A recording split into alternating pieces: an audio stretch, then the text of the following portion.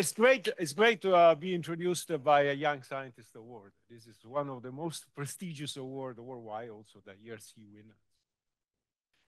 So, uh, it's not on. It should be on.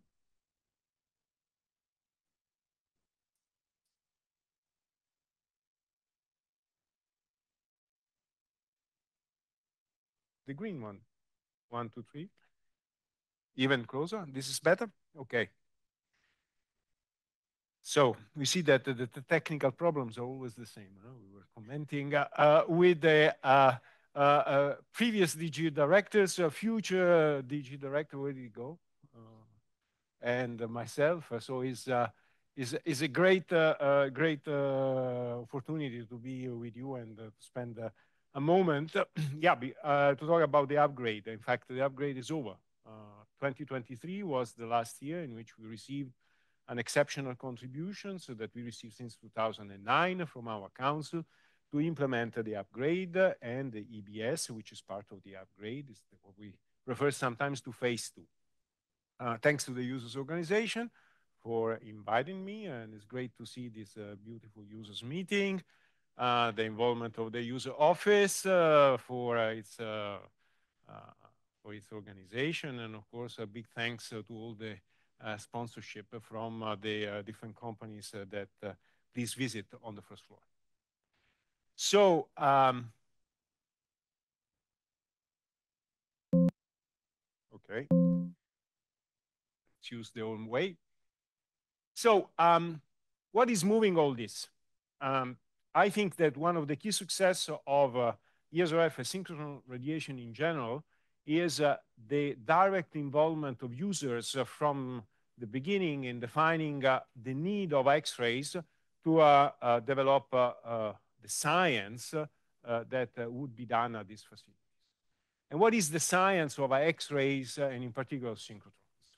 Um, we have seen already a few beautiful examples this morning. we're going to hear it in the uh, micro symposia tomorrow, but also this afternoon, is um, to realize that X-ray is a fantastic probe uh, to determine the structure, in some cases also the dy dynamics of matter or the evolution of structure, and that our world is very complex. It starts with atoms, so we are a world of atoms, and uh, these atoms combine themselves in uh, uh infinite numbers of ways uh, to produce all that beauty that is around us, and uh, the growth of mankind in being able to do better materials, better processes, better functioning, better, better medications, etc., and etc. And all this is uh, is uh, uh, uh, uh I think the big challenge of X-rays to really go from the single atom uh, all the way to a working body, for example, in biology.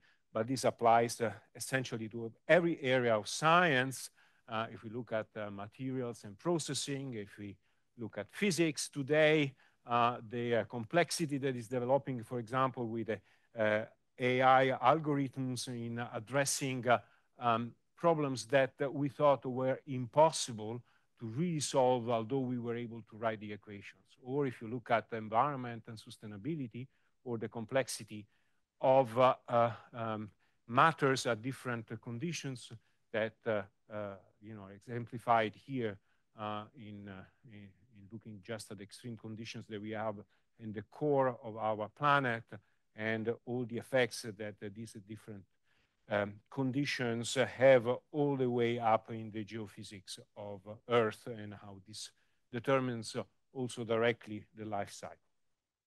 So um, all this, uh, since years now, uh, is really pushing us for uh, developing a new generation of X-ray microscope and if I look at a talk that I gave uh, at the users meeting in 2004, um, uh, this uh, view graph uh, taken exactly from that meeting. This is the first time that we were starting to talk about uh, the uh, possibility of upgrading the ESRF. ESRF started its operation in 94, 10 years after, we were already talking about the next big step. And there were two buzzwords decreased horizontal emittance, and long insertion device beamlines. For micro and nano focus with X-ray absorption and scattering. And if I take another one, is really again uh, an attempt to bring together a very diverse community uh, to develop uh, a science case that could really be exploited thanks to this technology development on the machine and on the beamlines. And this was also the time in which we were starting to learn how to really manipulate X-rays uh, uh, down to, to uh, very, very small detail. And already in 2004, we were seeing that the future is routinely below one micron. And also, if we were looking there, uh, all the uh, elements that I put in my first view graph were there and really trying to converge the classical X-ray methods of absorption and scattering with uh, microscopy. And uh, examples were already being pioneer at that time in terms of microdiffraction, extreme conditions that really was born here at the ESRF, as well as microdiffraction and microanalysis. So um, the Council of the ESRF uh, decided in uh, uh, November 2008, Bill Stirling was the Director General of the ESRF and was a key person in driving the whole process for launching the upgrade program. and again, the whole process was based on science. And we find nanoscience and nanotechnology, structural biology and soft matter, ultra fast molecular processes, science at extreme condition, and X-ray imaging. So again, everything was, uh, you know, driven by this uh, key science that has been growing since then. And uh, as we will see uh, in this users meeting, but also in a couple of view graph, um, uh, is really driving the process for um, the continuation of X-ray science. So all that uh, gave us uh, the possibility to develop uh, the phase one of the upgrade program that uh, um, uh, spanned over the period 2009-2015, was on the ESFRI roadmap, benefited from uh, European Commission money that financed the preparation phase with a program ESRF up that also enabled the publication of the um, Purple Book, where the science and technology case for the ESRF upgrade program was uh, presented, was one of the first pillar in the, uh, in the ESFRI roadmap. And there was a very strong uh, involvement of Yves Petroff at the time that was part of the um, ESFRI group in making sure that ESRF could be uh, supported together with its users community. So there were two main objectives, beamlines for nanoscience and the study for possibly a new high brilliance machine with uh, uh, strongly decreased uh, horizontal emittance and uh, correspondingly increased brightness. This was done, Golden's lab, very long beam lines. Uh, we developed the first open access cryo EM platform. We just heard from the previous talk. this was, you know, again, a pioneer in everything. The beamline was successfully delivered. Uh, the users pro, uh, they are in users program since 2015. All this, this was done in time in, in uh, budget. And if I quote the ESRF Council at this 200, uh, 2015 meeting, the Council celebrated the delivery of the ESRF upgrade program phase one, which has been completed on time, within budget, and with minimal impact on the operation of the facility and the ongoing users program recognized that the skill, competence, and dedication of the ESRF staff have been the key to the successful uh, delivery. And so this is also um, a way to uh, really underline the engagement of all ESRF staff over these many years uh, to really um, uh, develop as a big family together with the users community um, the ESRF as it stands today. But as I said, was not just the beamline, was also the development, the, the, the, the study and the analysis on seeing whether uh, a new uh, revolutionary source could be, in principle, uh, developed. And in fact, uh, um, already in the phase one, there were some studies on how to extend we'll see in a moment, the, the MBA concept to beyond the double bend achromat, which was the basis of ESRF1 and many other machines around the world. In uh, 2012, at a three-way meeting, we at the SRF started uh, the process with a brainstorm on the future electron high energy storage ring for the production of synchro radiation, a new generation of circular machine, the scientific case, why we need them. So that started at that point and developed rapidly uh, into um, an important meeting that again took place in uh, Zurich, uh, close to Zurich. the first one for the launch was in Zurzach, so Z again. this took place in September 2012. you can see here the people that participated to that meeting and this working group was established by the council made a recommendation the working group has identified the upgrading of accelerator and sources to the new levels of brilliance that can be envisaged today as the key element to give ESRF the long-term opportunity to remain world-leading synchrotron radiation science. Therefore, strongly recommends to the ESRF Council to give the mandate to the management to prepare a preliminary design on the upgrading of the ring. So that's how it all started, rapidly developed on uh, uh, what, what were the uh, basis for the uh, conception of this new EBS storage ring, reduce the horizontal equilibrium emittance from 4 nanometers to less than 150, maintain the existing ID straits and beam lines, maintain as much as possible the existing bending magnet beam lines, preserve the time structure operation and multi-bunch current of 200 milliamps, keep the present injector complex, reuse as much as possible existing hardware, minimize the energy loss in synchrotron radiation, minimize operation cost, mainly wall plug power. This was in 2013, uh, well before the crisis. Uh, this was been always a concern at the ESRF to try to optimize and to reduce carbon footprint and other uh, aspects in energy consumption. Limit, the, of course, the downtime for installation and commissioning to about one year. And uh, that's how uh, from the phase one, we went to, to this uh, second phase, uh, the ESRF EBS, extremely brilliant source, with a budget of about 150 million euros. It immediately entered as a landmark in 2016 and is the first of a future generation of high energy synchrotron sources. There were also new flagship beam lines and uh, uh, resuming some detector instrumentation and data service uh, uh, programs. Um, so what's new about the, the, EBS and why it was, uh, it is such a revolutionary design and step for synchrotron radiation?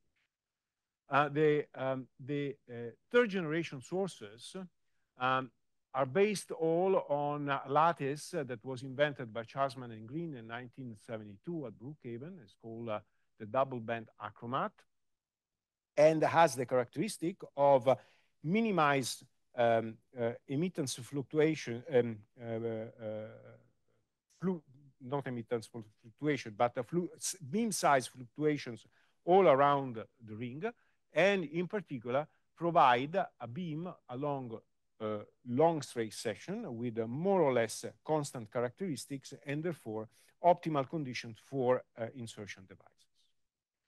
Um, one could extend this concept of double bend achromat, and that's what uh, did Einfeld did in 1993 uh, by increasing uh, the number of uh, bending magnets, and uh, uh, therefore um, use this concept of increasing the number of bending magnets to reduce horizontal emittance. And this design, this approach was taken by Max IV and Sirius, and the aim was pretty obvious since the 90s that uh, from going from third generation, one could gain a lot and going then to what is now referred to as fourth generation by taking the basically line source that you have uh, in a third generation source uh, where you have a ratio of about 1000 between vertical and horizontal emittance to something that is much more cylindrical uh, and in which uh, the horizontal and vertical emittance are more or less uh, the same. This was studied at length at the ESRF uh, uh, in, uh, before the launching of the upgrade, as well as uh, during the phase one. Pascal uh, did a lot of studies on that, on a possible tri triple bend or four bend achromat lattice for the ESRF based on the MBA concept. However, it, went, it came out that uh, upgrading a machine to, uh, that was conceived on a DBA into an MBA is very, very difficult unless uh, you um, uh, renounce to some key features, like, for example, the energy of the machine. Um, as you would get unstable operation and pure injection efficiency due to the small dynamical aperture.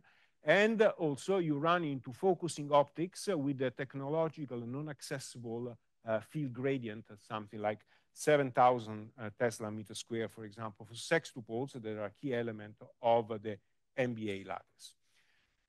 So uh, it was rapidly concluded that there was no real interest to upgrade any existing high energy storage ring uh, facility.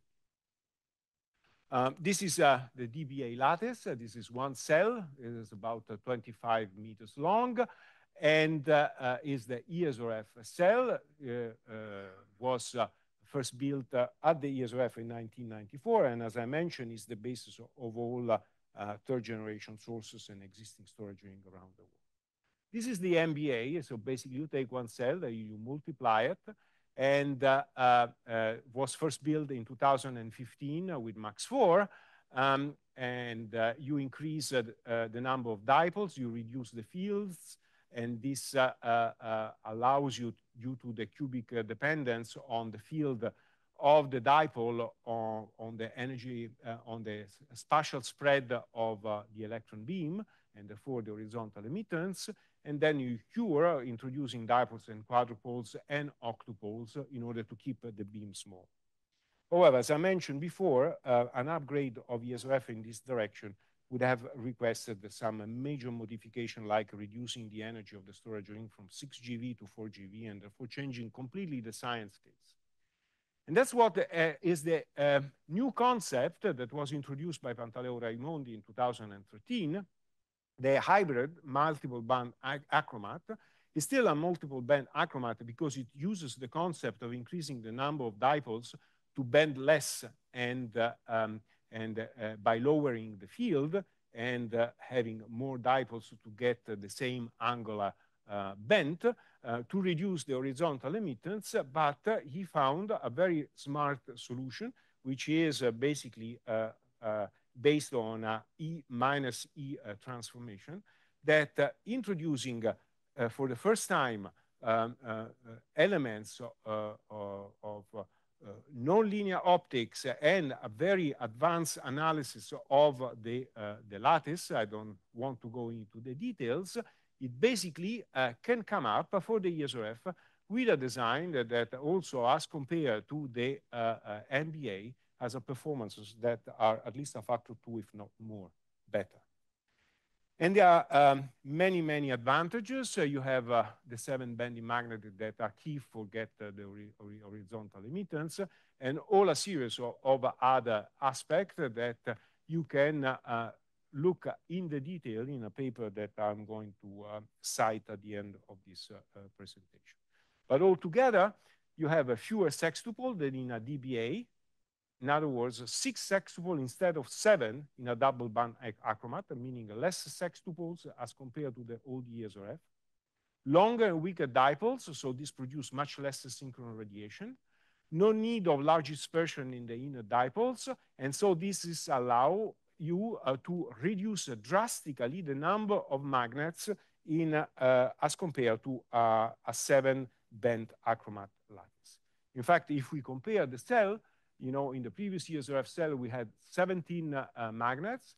In the EBS uh, um, lattice cell, we have 31 magnets. If we would have applied the seven bend achromat max 4 lattice cell, we would have 47 magnets with the magnetic fields much, much higher than that. So you can see that despite the big simplification that, uh, that EBS lattice enabled us Uh, as compared to the uh, MBA, uh, you still have a very complex uh, cell with much more uh, elements and all a series of extremely new concepts in accelerator technology that were studied and implemented here at the SRF.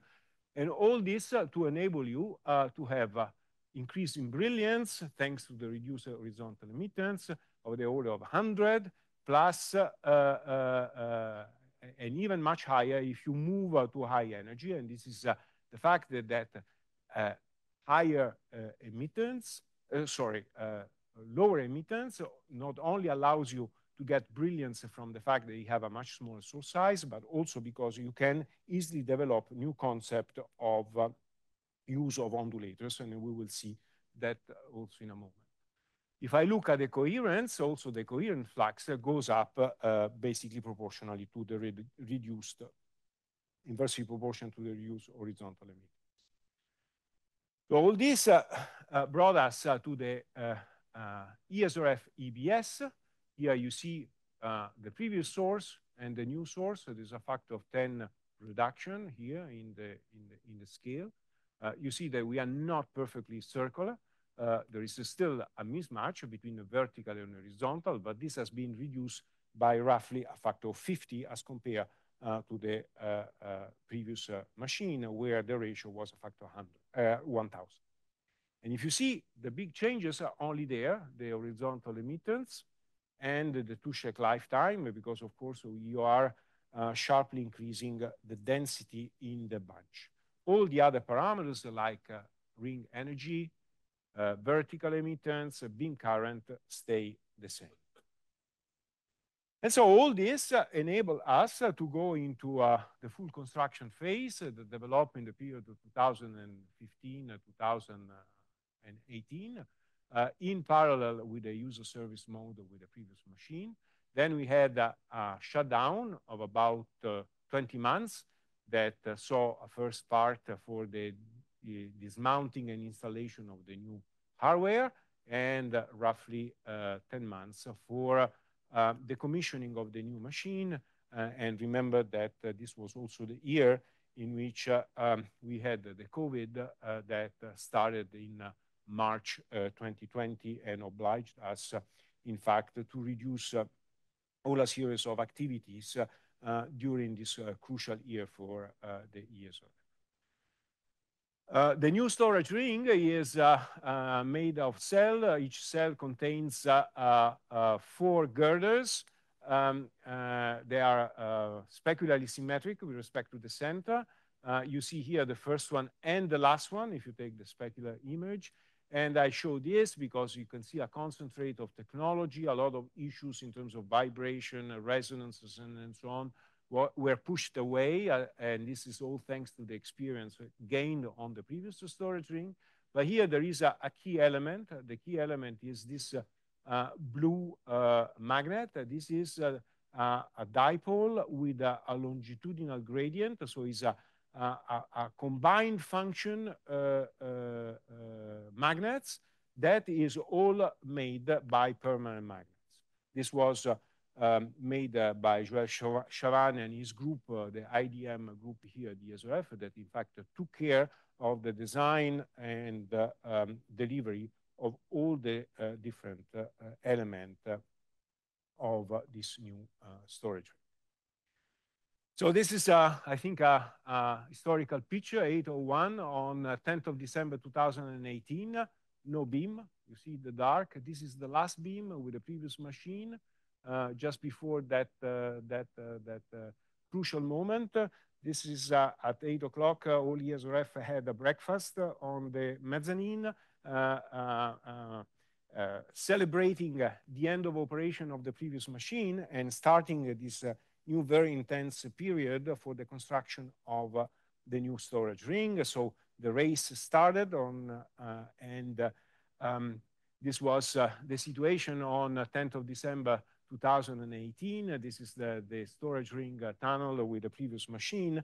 And after uh, less than a year, after 11 months, uh, that's what we had in the, in, the, in the tunnel. It took 11 months to take out the previous storage ring, to do some civil construction inside the, the tunnel, and to mount uh, the new storage ring, uh, get the vacuum system, uh, get all the services in place, and basically being ready for uh, starting the commission. And indeed, the commissioning started on 28th of November 2019. This was an historical moment because after a few minutes, we could see the first turn turns inside uh, the storage ring. Here, uh, only the dipoles were either uh, turned on because they were electromagnets or the one made out of permanent magnets. You can see here the 320 beam position monitors are along the circumference of the ring. You can see here signal that is basically fading down. Uh, and these are the first uh, three turns of electrons inside uh, the storage ring. This was all based on static alignment. All the magnets enabling this immediate success confirmed that they were aligned with a precision of about 20 microns over the whole circumference, about 900 meters. So really a fantastic job that was carried out by our survey and alignment group. and uh, uh, after a few days, on uh, 6th of December, okay, beam stored. This is uh, the, the RF was turned on. Uh, the, uh, the, the magnets family were started to be optimized using all a series of optimization algorithms. And you could see here the, the, the first attempts and the first um, storage of electrons. The current was still pretty, pretty low, something like 30 microamps. But you could also see this beam, this beam which really looks good. This is random. This is, uh, is uh, sorry, ra uh, round. And uh, what you see here is, is, is, I took it with my iPhone, and so what's moving is my hand. Uh, you see immediately uh, something very, very crucial, that this beam is incredibly stable. You see this object there on the screen, and it's not moving. It's not going anywhere. And this is, you know, just after the first few attempts. After a few days, uh, the gang uh, was able uh, to do the first accumulation. this is the next big step. Okay, we have a store beam a 30, 30 microamps. Can we start uh, increasing the current? And so you need uh, uh, to, to start to be able to accumulate beam. And this happened on Sunday, of course. All thing, big things happens on Sunday. 15 of December at 1535, and that's where really the fun started. And uh, after a few, uh, after the, the, the, winter shutdown, uh, just before the, the winter shutdown on 15th of December, we accumulated and then we came back on January 24th and they were able to reach basically no time uh, 50 milliamps. And 50 milliamps is also a crucial current because it's the current that we set as the current in which we will start to open again the front ends of the beamline. And that's what happened uh, uh, indeed at the end of uh, January. It was on the 30th of January. And basically, the first light was seen by all the different beam lines. And what was absolutely amazing uh, that uh, we basically opened uh, 27 beam line on that date.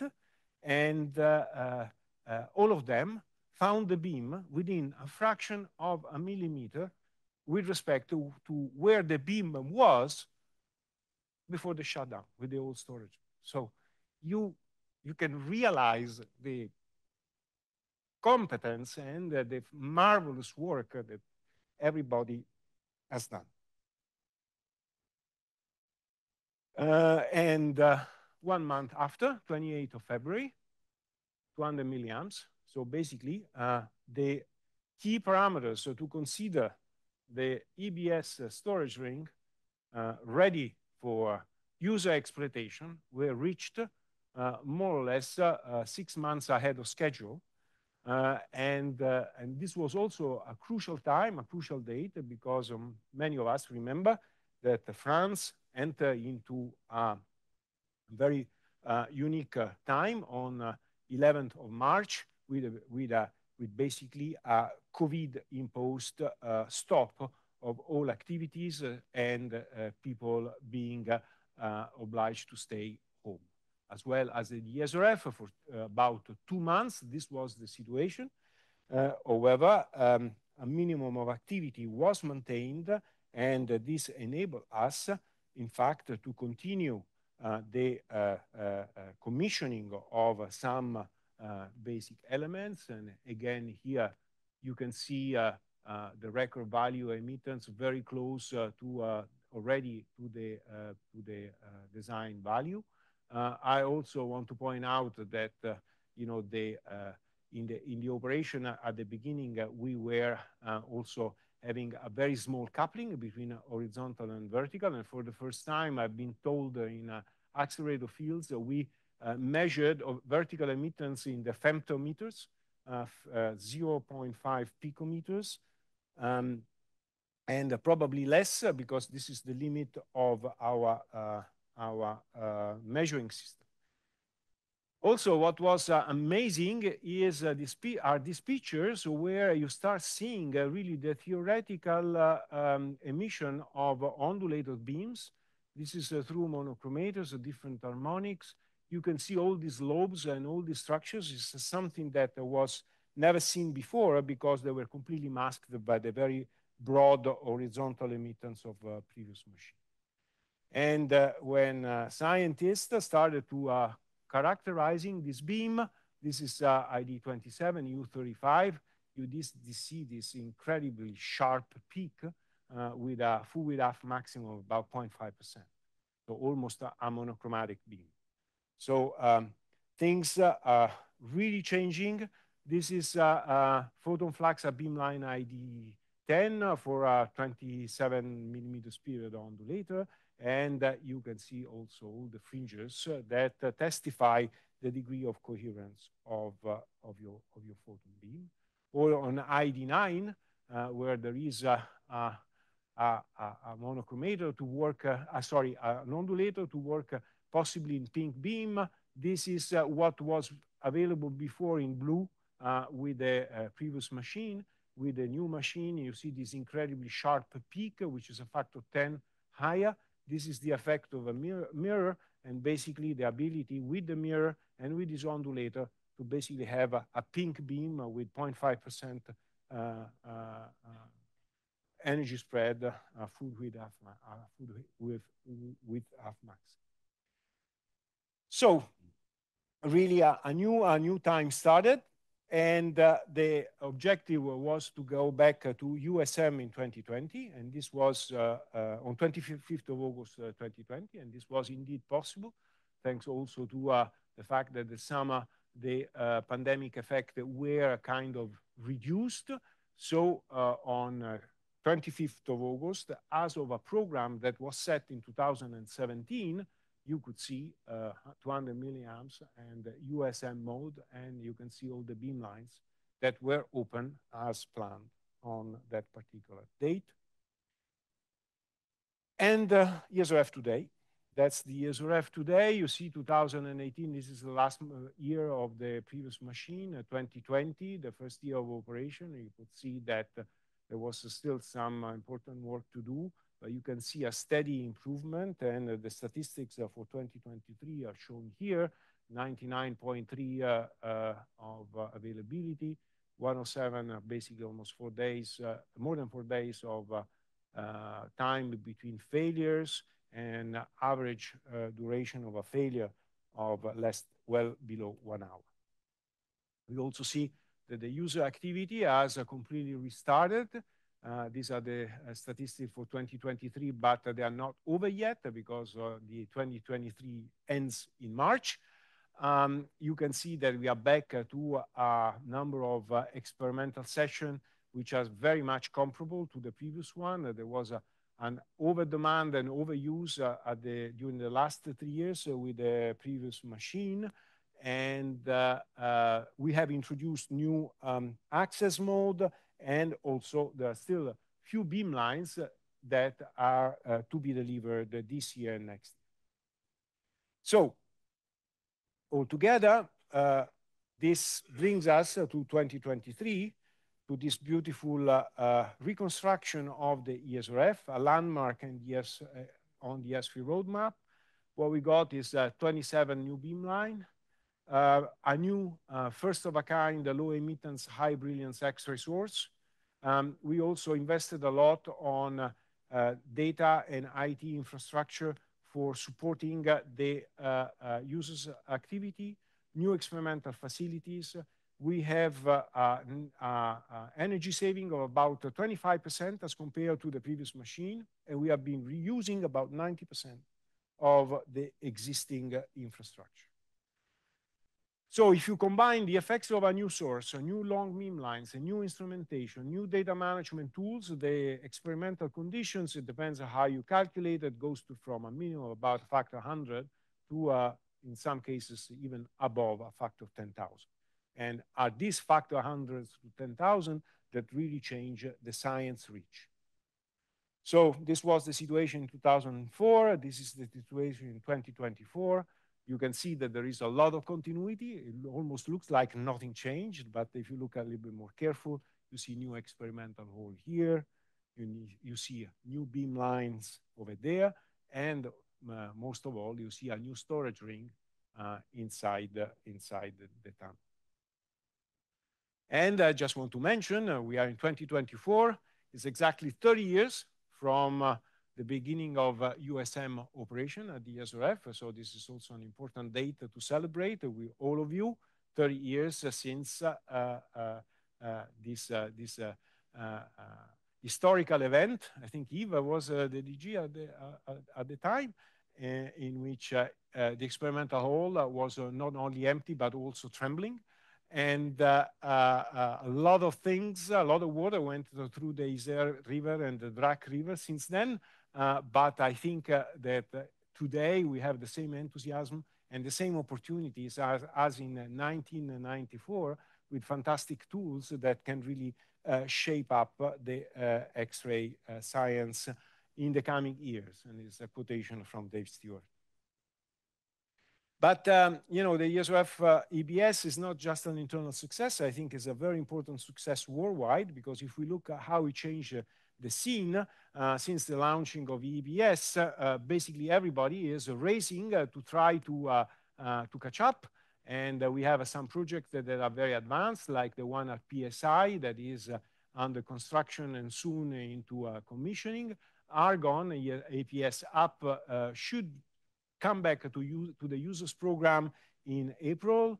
Uh, SPring-8 has been announced uh, to uh, to go to an upgrade. We have a very similar um, APS-U ring in Beijing, which is also under commissioning.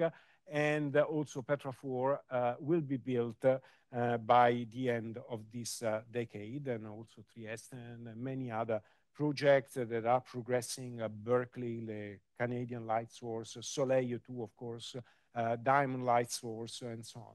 So um, I think it really changed uh, the scene because all these facilities would have been impossible as for the ESRF to upgrade them using the MBA lattice concept. So without the HMBA, all this that happened at the ESRF and is going to happen soon will not be possible.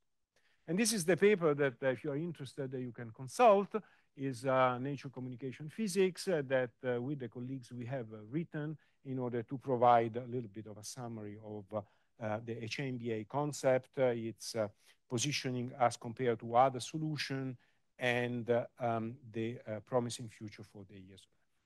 Last two view graphs, I want to dedicate to the science, lifting the potential of EBS. I do not have the time to give you examples of science. You will see them a little bit through this meeting and elsewhere. But for me, this is very impressive. This is incredible. The uh, ESRF did not have any ERC contract until uh, the first one was uh, Hugh Simon in 2019. And All of them, all of them starting advanced consolidator are based on the exploitation of EBS. And so this really shows what it means to have a new door opening. At the end, it's you, the users, deciding if all that we have done is worth something. So this is for me the most impressive thing, and I am uh, truly and sincerely um, touched by the engagement of the users community in exploiting all the work that here at ESRF we have been doing de facto for you. And I cannot resist uh, by this uh, fantastic endeavor Uh, uh, that involves uh, UCL, involves um, ESRF, involves a series of German hospitals, but is more and more involving uh, something I think more than 40 collaborators uh, today around the world that are uh, using the unique capabilities of uh, ESRF, which are used in phase contrast tomography to open a new vista in anatomy and understanding of the human body and the human organs. and the launching of this human organ project, Atlas project, which has a very strong funding from the Chan Zuckerberg initiative, and it's really aiming understanding human diseases thanks to a new insight into our body.